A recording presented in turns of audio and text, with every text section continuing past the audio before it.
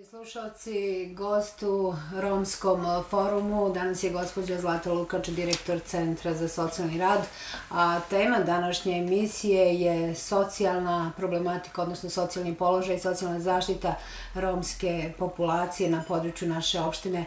E, gospođo Lukač, dobar dan i dobrodošli u našu emisiju. Dobar dan i hvala na pozivu. Evo za početak da se osvrnemo na to i da nam kažete sa vašeg stanovišta kakav je socijalni položaj Roma, kako u našoj opštini, tako i na području cijele države. Pa što se tiče položaja Roma u Bijelom polju, njihov položaj treba posmatrati u širem kontekstu, znači u kontekstu njihovog položaja u Crnoj Gori.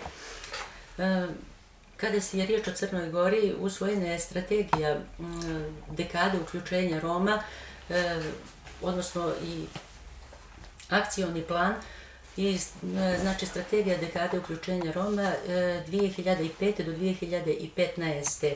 E, godine. Također ovaj 2007. godine E, je usvojena e, također jedna strategija od 2008. do 2012. godine poboljšanja položaja Roma u e, Crnoj Gori i u tom kontekstu treba posmatrati poziciju i položaj Roma u Bijelom polju. Što se tiče podataka Centra e, za socijalni rad u Bijelom polju je 369 eh, pripadnika eh, romske populacije, od toga 54 porodice, su korisnice materijalnog obizbeđenja porodice, eh, kao i dostupna su sva ostala prava koja se inače bez obzira znači na pripadnost, na nacionalnu pripadnost, koja su inače definisana u zakonu o socijalnoj dječoj zaštiti. Znači, to je i lična invalidnina i tuđa njega i pravo na povlasticu u vožnji i um, također i ljetovanje, dodjela školskog pribora i e, tako dalje. Znači sva osna ostala prava koja postoje u e, zakonu o socijalnoj i dječoj zaštiti. Jesu oni svjesni tih svojih prava i da li ih koriste? Mogu da kažem što se tiče populacije Roma u Bijelom polju.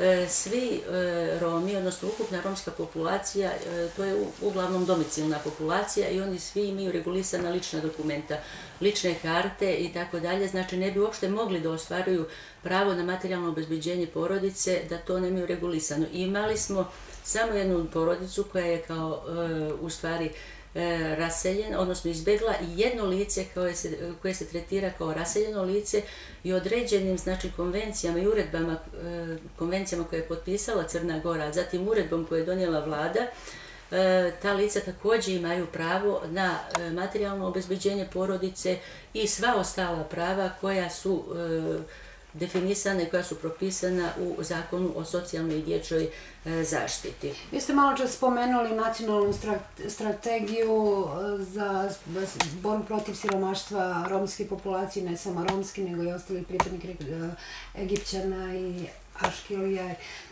Hoćete li malo objasniti šta je predviđeno tom strategijom? Čisto onako da naše slušalce upoznamo. Znači, to je dekada Roma, Šta je predviđeno za taj znači, neki period da se odmah? E, osnovni zadatak je u stvari poboljšanje pozicije, odnosno položaja Roma. Tamo su naglašeni neki osnovni principi, principi nediskriminacije, afirmativne akcije, sve u cilju poboljšanja pozicije Roma.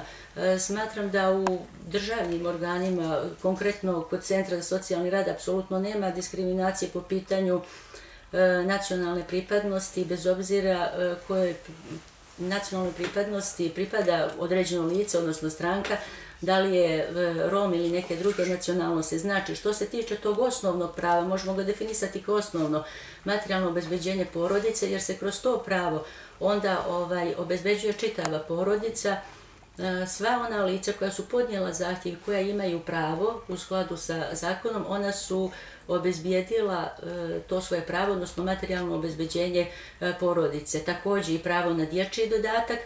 E, smatram da su dosta dobro Romi informisani u našoj sredini što se tiče ovih e, prava. E, znači, osnovnici svih tih strategija i akcijonog plana i strategije je poboljšanje pozicije Roma. Kada je e, jedna grupacija, odnosno nacionalna manjina u decenijama ili stotinama godinama u nekoj poziciji koji je E, koja je loše od ostalih, mora se mnogo više raditi, mora se mnogo više pričati i mnogo više raditi nego sa drugim ovaj, e, grupacijama da bi se ta pozicija e, popravila.